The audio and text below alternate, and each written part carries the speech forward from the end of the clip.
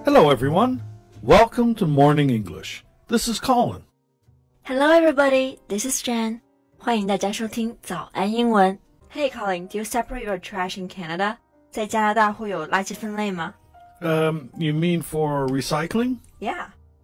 Yeah, we use a, a system called the Blue Box Recycling System. Blue? Yeah, it's because every household is given a blue box. It's about the size of a large microwave oven to put their recycling in. So the word recycling can be used to mean the process of collecting and changing old papers, glass, plastic, etc. So that is can be used again and also to mean the items you collect to recycle. 所以 recycling 这个单词呢，既可以表示循环再利用的这个动作过程，也可以表示循环利用的物品。 Yeah, and it makes for some strange sentences like, take the recycling for recycling. Oh, that is strange. Well, I'm interested in how it's done. Can we talk about that today? Yeah, sure. 那在今天的节目当中呢，我们就来聊一聊 recycling 循环利用。So is recycling all done in the same way across Canada? Uh, no, it's um, not nationally controlled. The recycling policies are set by each municipality, so everywhere is a little different. 嗯，所以在加拿大每个地方的回收政策是不一样的。And how is done in your hometown? Well, the municipality gives every household one blue box. For larger families, they may need another, but the second one you have to buy. So you put all your recycling in a box? Yes, but first you must separate everything. For example, you might have packaging that has paper and plastic together. You need to take that apart. Or a plastic top to a glass bottle. uh, that must be separated too. Things like that. 嗯，所以垃圾分类就是循环利用的第一步。So what things go into the blue box? Um, glass bottles and jars, metal food and beverage cans, uh, that the rigid plastic containers, and like all these things must be washed first. Uh, also, paper products like uh, newspapers, magazines, flyers, and also cardboard boxes. Um, the paper things need to be flattened as much as possible and tied together with string. I see. 那看来垃圾回收之前要做的工作还不少呢。如果是瓶子、罐子之类的呢，就首先要洗干净；如果是纸之类的物品，就要先要弄平，然后用绳子捆绑好。 So what about things like batteries? Oh, those are completely separate. We need to take them to another place that accepts them. Um, there are many stores that have uh, places to put batteries for recycling. Also, beer bottles are taken to the beer store and they reuse them. Beer bottles are all s- a standard size in Canada, so all beer companies use the same bottles. 嗯，所以电池就会有专门的地方来回收， 像有一些商店啊，就会设置一些专门回收废旧电池的地方。那像啤酒瓶也是可以回收的，而且为了方便回收利用嘛，在加拿大所有的啤酒瓶的规格都是一样的。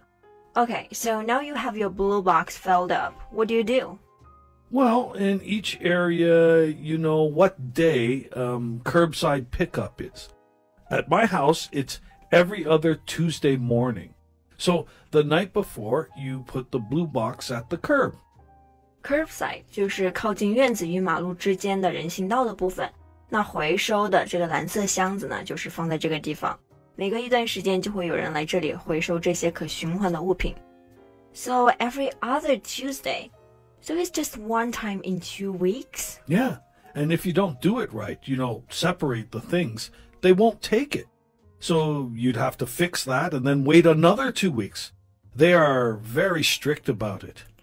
Wow, and what about regular food stuff? Like kitchen garbage? Oh, that's completely separate too.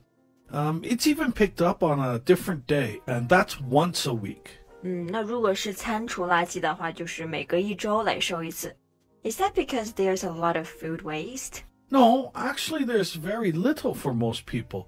But food waste can go bad quickly, especially in the summer, right? And so it like smells and it can even make people sick. Yeah, it also attracts bugs and rats. Right. So we pick that up more often.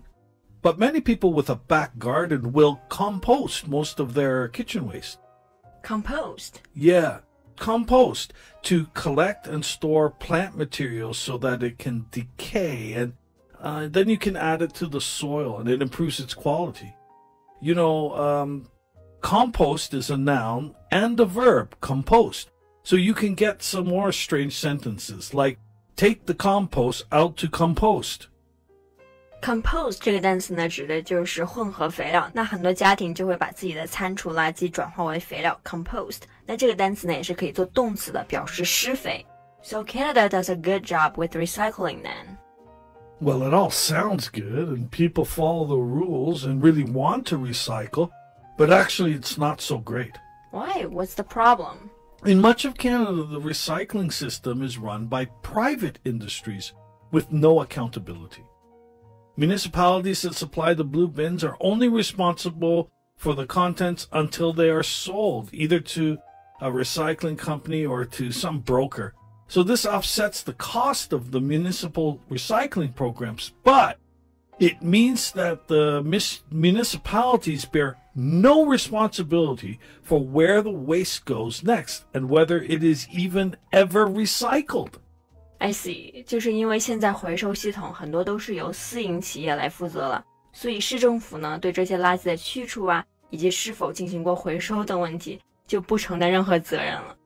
So you mean a lot of it isn't really recycled? Yep, right. For a long time, the system looked like this. Some waste was purchased by a recycling company and processed to be reused but a lot of waste that was contaminated, you know, by food scraps or other, you know, non recyclable materials ended up in landfills or sold overseas, largely to companies in China. Once exported, the waste would be sorted, the valuable plastic kept, and the rest either dumped or burned. You know, this is a reality that uh, many blue bin users were not aware of. 嗯，就是有一些回收公司购买了垃圾，并进行了再处理和再利用，但是很多被食物残渣污染的垃圾，或者是含有其他不可回收的材料，最终被填埋或者是卖到海外。 那卖到海外之后呢，人们就将这些废物再进行分类，保留有价值的塑料，然后再将剩余的塑料倾倒或者是焚烧。那向海外出口的话，就主要针对的是中国的公司。But China made new restrictions on what waste they would take in a few years ago. That's right. In 2018, China became strict about it, and now Canada and other Western countries are having to dump their garbage in their own landfills or export it to other countries. So most of what the people think is getting recycled is not really, and they don't know. Yep, exactly. So what can people do?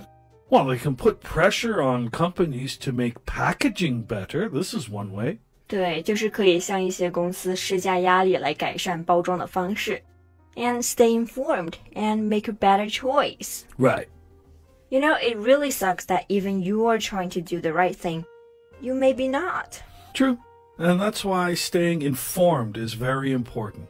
Reading this kind of news may not be sexy, but it's much more important to the future than what some superstar is wearing. yeah. Okay, that's all the time we have for today. Hello, welcome to Morning English. 早安英文呢是一个为大家免费提供英语教学的频道，每天都会更新。如果你想获得关于英语听说读写的内容，我们都会在这个频道更新。我们的目标是帮助全球的华人学好英语。如果你觉得还不错的话，记得给我们订阅哦。另外，点开小铃铛，这样的话就不会错过其他任何学习视频啦。对了，如果你想获取本节课的完整版笔记，在视频简介或者评论区领取哦。你也可以给这个视频点赞，点赞就相当于自动保存啦。Thanks for listening, everyone. This is Colin. This is Jen. See you next time. Bye. Bye.